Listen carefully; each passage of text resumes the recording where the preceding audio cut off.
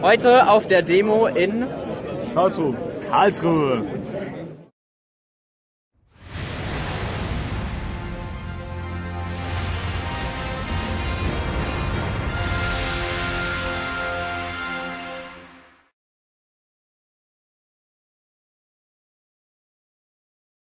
Hi, erstmal, also du bist der Veranstalter von Genau, dem Ding ich bin. Jonas von Safety Internet und ich habe zusammen mit einem Freund die Demo hier angemeldet in Karlsruhe. Wie viele Leute werden ungefähr erwartet? Das ist eine gute Frage. Wir haben etliche Zusagen bekommen, wir haben aber auch etliche Absagen bekommen. Es kann von 100 Leuten bis 1000 Leute alles dabei sein.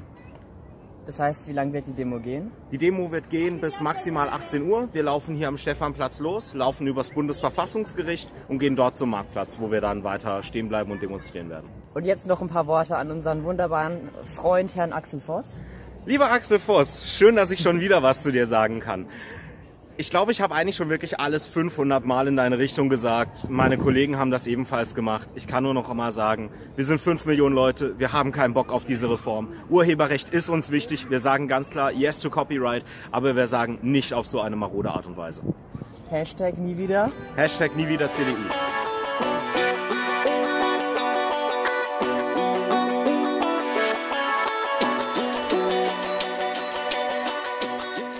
Sehr schön!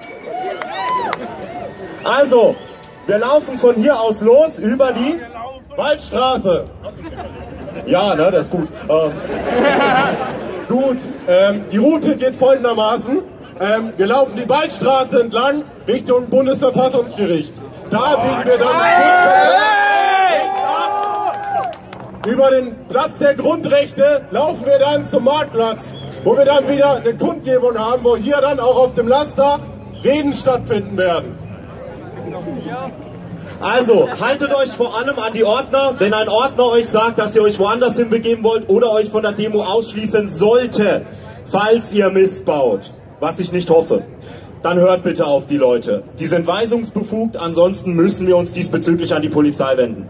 Ansonsten kann ich wirklich nur noch sagen, seid laut, habt Spaß und zeigt dem EU-Parlament, dass ihr keine Upload-Filter wollt.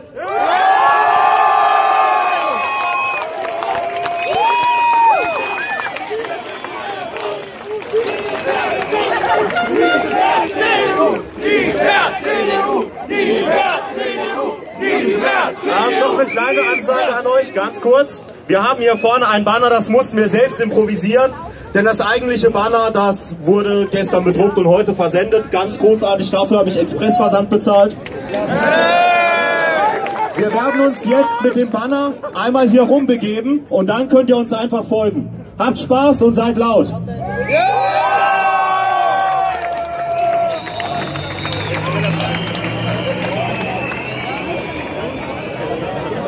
Ja, das ist auch nicht so oft verkauft. Oh, der Woche. Mit deinem Gamble, Alter. Imitiere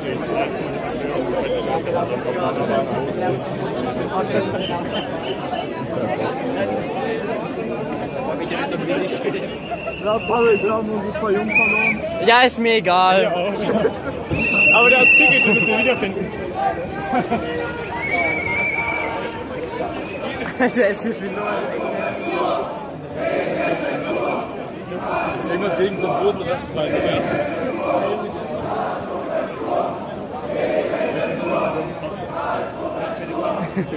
Läuft einfach hinterher.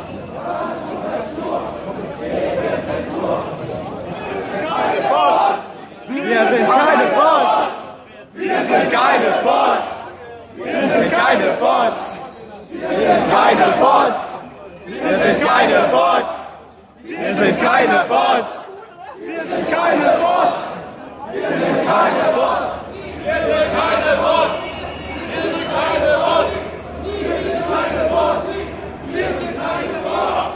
Karlsruhe bleibt stur! Gegen Zensur! Karlsruhe bleibt stur! Gegen Zensur! Karlsruhe bleibt stur! Gegen Zensur! Karlsruhe bleibt stur! Gegen Zensur! Karlsruhe bleibt stur! Gegen Zensur! Karlsruhe bleibt stur! Gegen Zensur! Karlsruhe bleibt stur! Gegen Zensur! Karlsruhe bleibt stur! Langsam bitte, die Bahn kommt! Langsam, Dankeschön! Seid doch ein bisschen laut, die Bahnfahrenden müssen auch mitkriegen, dass wir hier sind. Gegen Zensur! Karlsruhe Stur! Gegen Zensur! Karlsruhe Stur! Gegen Zensur! Karlsruhe Stur! Gegen Zensur! Karlsruhe Stur! Karlsruhe Stur! Gegen Zensur! Gegen Zensur! Akupunktur gegen Zensur! Karlsruher Schur gegen Zensur! Karlsruher Schur gegen Zensur! Karlsruher Schur gegen Zensur! Karlsruher Schur gegen Zensur! Karlsruher Schur gegen Zensur! Karlsruher Schur gegen Zensur! Wir sind keine Rost! Wir sind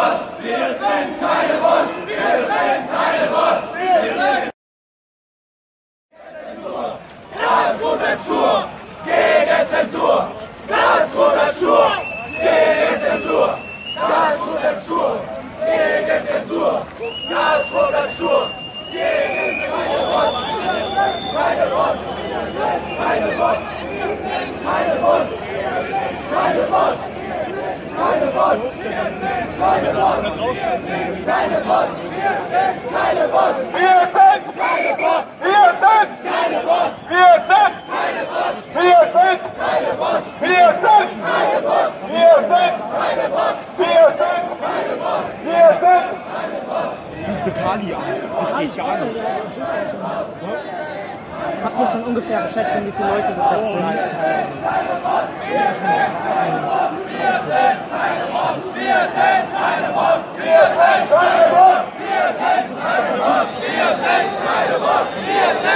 keine Bots!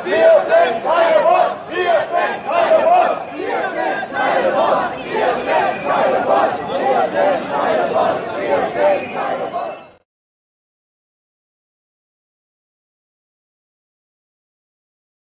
hat Sie heute dazu bewegt, hierher zu kommen?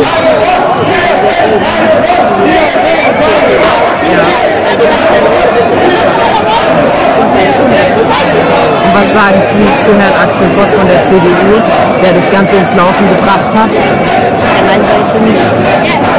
Keine Ahnung. Da gibt es erstmal ganz intensiv müssen, was das eigentlich bedeutet. Das.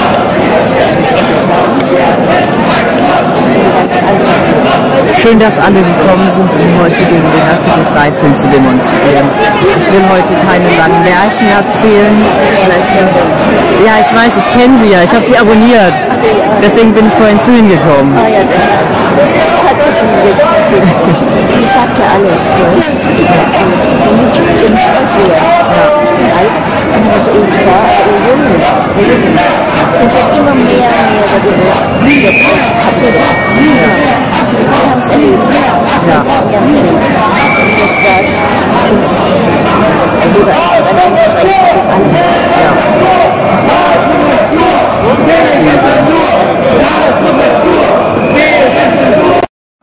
Ja, schön, schön, dass ihr alle gekommen seid, um gegen den Artikel 13 zu demonstrieren.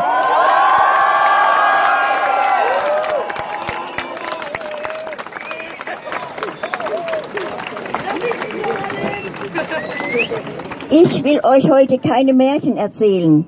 Märchen, Mä Märchen wollten uns andere weismachen. Leute, die unsere Freiheit mit Upload-Filtern schneiden wollen. Diese Menschen behaupten, wir sind alle Bots. Sind hier irgendwelche Bots? Wir sind keine Bots! Wir sind keine Bots! Wir sind keine Bots! Wir sind keine Bots! Wir sind keine Bots! Wir sind keine Bots! Wir sind keine Bots! Wir sind keine Bots! Das sind Märchen. Es wird behauptet, Konzerne hätten uns, es wird behauptet, Konzerne hätten uns vorgeschickt, um ihr Gewissen zu sichern. Das sind Märchen. Wir demonstrieren hier Hinsetzen! Hinsetzen! Hinsetzen! Hinsetzen!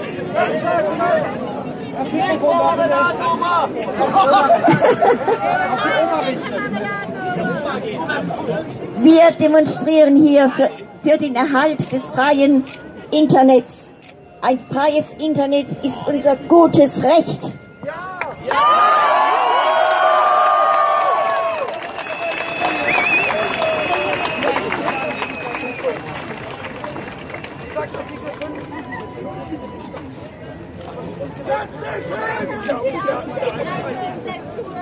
Es wird behauptet, wir wollen unseren Künstlern das Brot wegnehmen. Das sind Märchen. Es gibt vielerlei Arten von Künstlern. Auch im Internet gibt es Kunst, Kulturschaffende. Wir lassen uns nicht auseinander dividieren. Niemals. Wir sind für das Urheberrecht, aber Ur Ableitfelder sind der falsche Weg.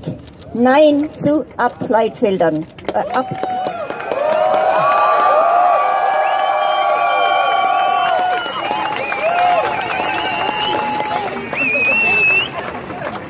Deswegen demonstrieren wir heute friedlich, aber konsequent auf dem Stephanplatz. Aus Dreier.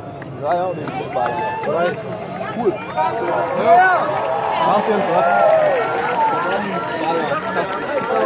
Aber nicht nur in Karlsruhe, in ganz Deutschland stehen heute Menschen für das Recht und ein freies Internet ein.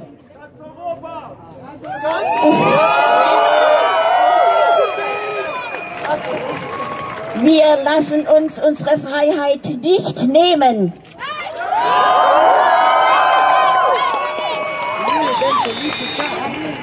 Danke, danke.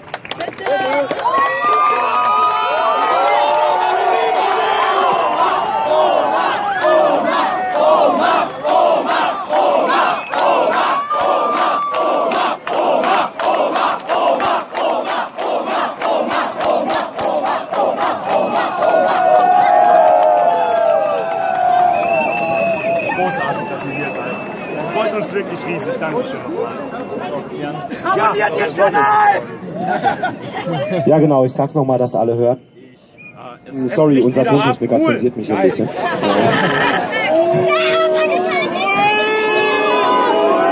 Der mag eben sein Internet wie sein Kaffee immer schön gefiltert. Ja, liebe Marmeladenoma, vielen, vielen Dank, dass Sie hier sind. Es freut uns wirklich alle sehr, dass wir auch Leute haben, die sich für uns aussprechen und dass es nicht wirklich immer nur der einzelne Kleine ist, der laut ist, sondern dass auch Leute mitmachen, die bekannt sind, die es auch direkt betrifft die dadurch in ihrem Hobby einfach eingeschränkt werden. Und das ist was, das sollte nicht passieren im Endeffekt. Es ist schade, dass wir alle deswegen hier sein müssen, aber es ist gut, dass ihr alle deswegen hier seid. Dankeschön.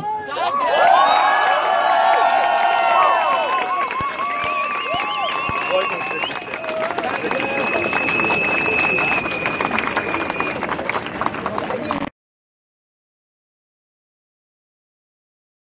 Sache losging, ich hätte echt nicht gedacht, dass ich mal vor so vielen Leuten eine Rede halten darf.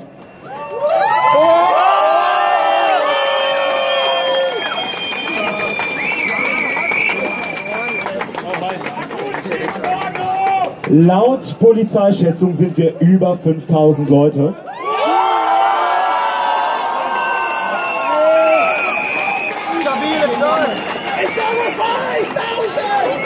Kleiner Funfact, die erste Demo zu dem Thema hier in Karlsruhe, da waren wir 30. Ja, ihr lacht, ich war am nächsten Tag heiser, weil wir nicht mal ein Megafon hatten.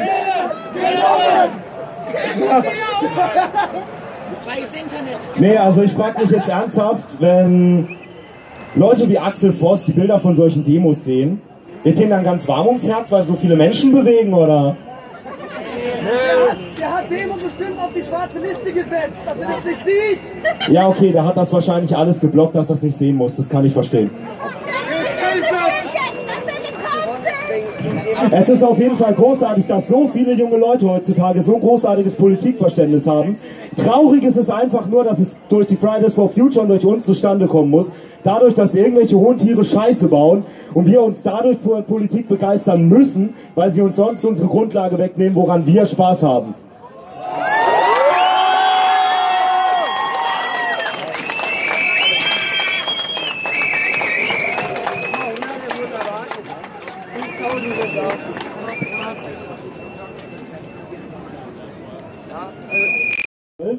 Es geht uns ja nicht nur um den Upload-Filter. Es geht ja auch zum Beispiel ums Leistungsschutzrecht, was der Axel Springer Verlag schon vor ein paar Jahren in Deutschland durchgedrückt hat. Damit große Konzerne wie Google ganz, ganz viel Geld zahlen müssen. Hat sehr, sehr geil geklappt. Es gab massiven Einbruch beim Springer Verlag. Die Besucherzahlen waren weg. Die Werbeeinnahmen waren futsch. Google hatte nach vier Tagen eine Gratislizenz. Geil. Lol. Das kriegen wir jetzt auf EU-Ebene. Kann nur gut gehen. Und ihr wisst ja, wie das bei Filmen ist. Der zweite Teil ist immer eher so mäßig geil.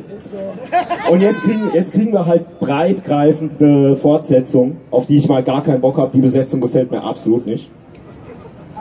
Aber was man sich halt fragen muss, ähm, wo liegt die Ursache?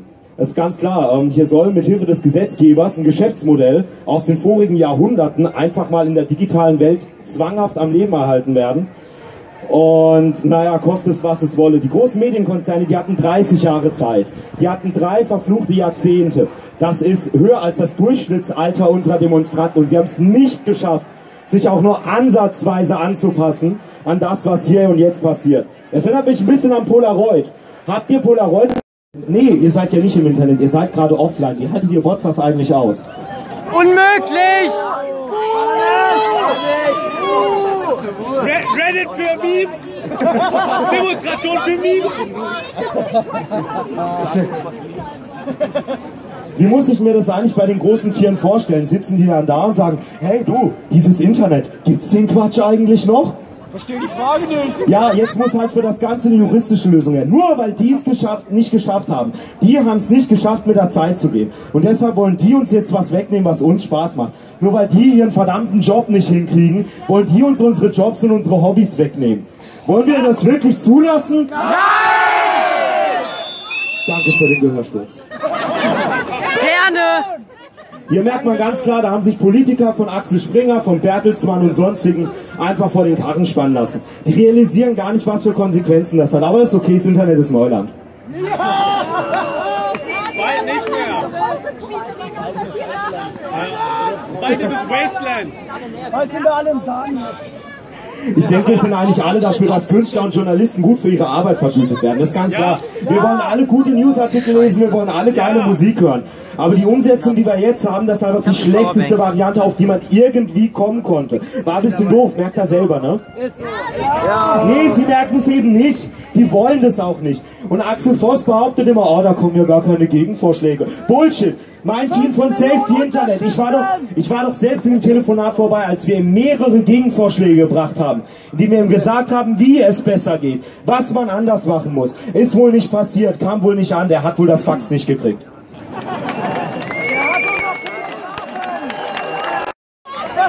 Der Voss, benutzt Internet Explorer. Axel Voss benutzt kein Internet Explorer, der hat noch Netscape und gratis AOL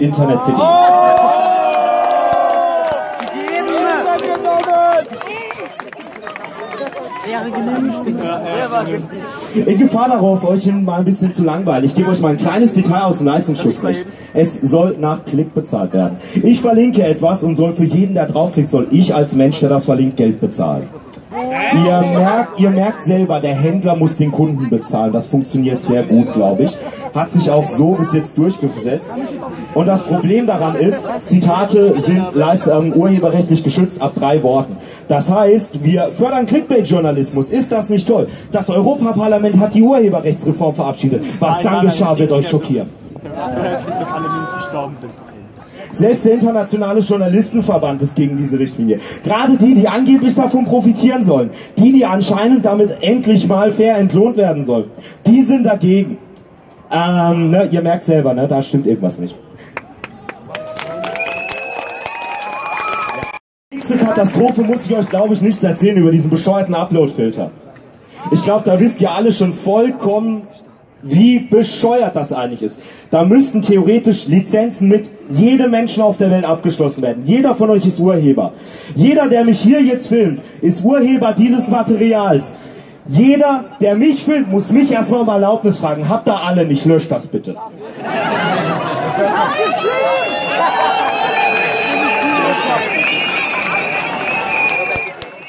Mit diesem neuen Gesetz sollen die User für das, was auf der Plattform passiert, nicht mehr haften, sondern die Plattform selbst. Unser Internet konnte nur entstehen, weil Plattformen aus der Haftung raus sind und derjenige, der das Material verbreitet, haften kann. So wie es eigentlich so sein soll. Und damit machen die unser Web kaputt. Wir stehen hier definitiv vor einer Zensur. Und Leute, wir haben nur noch ein bis zwei Tage Zeit, um die Abgeordneten davon zu überzeugen, dass wir das nicht wollen.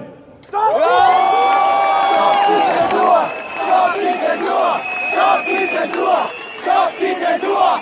Stopp die Zensur! Stopp die Zensur! Stopp die Zensur! Stopp die Zensur! Stopp die Zensur! Stopp die Zensur!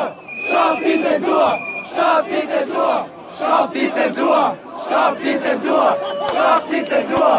Stopp die Zensur! Stopp die Jetzt war eine, hm, ich würde mal sagen, mehr als zwei Wagenladungen voller Leute. Drei Badewannen voll, schätzungsweise vier Fußballfelder.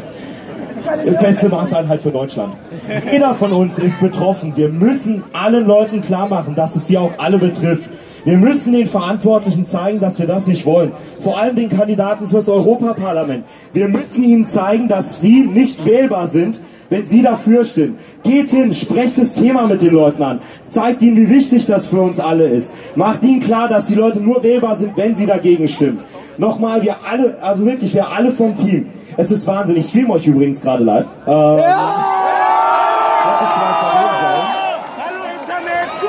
das, das gesamte Safety Internet Orga Team, was gerade nicht am Demonstrieren ist, sondern Papierkram erledigt, sieht euch. Sie feiern es sehr stark. Wir sind euch wirklich sehr dankbar dafür, dass ihr es alle mal geschafft habt, offline zu gehen und hier mit uns zusammen laut zu sein. Danke.